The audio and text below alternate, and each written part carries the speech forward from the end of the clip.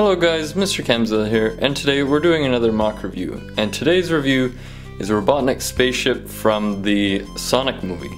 This was a request from, I believe, Gino Springtrap official, so thank you Gino for um, recommending this and being the first of hopefully many requests.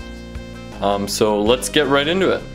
For the main shaping, you might recognize the uh, front a bit because it is from the um, the Stark Jet from Spider-Man Far From Home, I believe.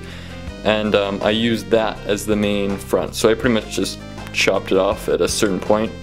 Used the back engine here as the back. And then from there I added on my own stuff to shape the cockpit a bit. And yeah, uh, that's essentially what I did. Um, the back here, it's black in the movie, so I just did that with some black pieces here. I believe this is a, it's like a train piece. It's used with train pieces or something like that. Um, back here, lots of shaping back here. Now these two circular dish pieces were with the um, Avenjet. Um, now that was the set that came with the um, the first Lego Thanos. So I have that set and I use these, and I think it looks really good. Just um, to get that like because in the movie, I know they're they're rings, but they're they're hollow in the middle and they're just kind of like hover rings. But I feel like this just it makes it look good. And here's Robotnik. I pretty much just took my Eggman and put hair on him. So uh, he's wearing a wig there. It's not Jim Carrey. Okay, don't get too excited.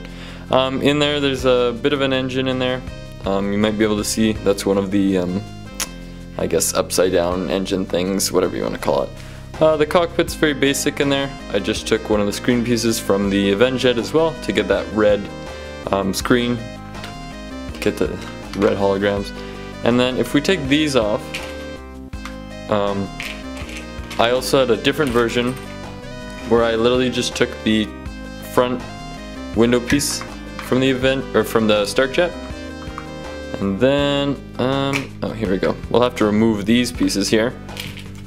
And then just put them on here, sorry.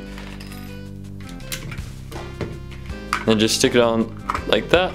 And that's also a really nice cockpit, I think, too. Because it's, um, in the movie, there was a screen, or like a, a glass screen at one point, I believe. And then the other version was the no screen. So let's just stick that on.